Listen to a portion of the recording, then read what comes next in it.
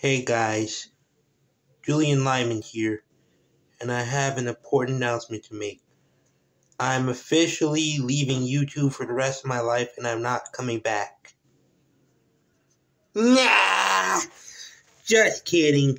You got April fooled. I'm staying no matter what.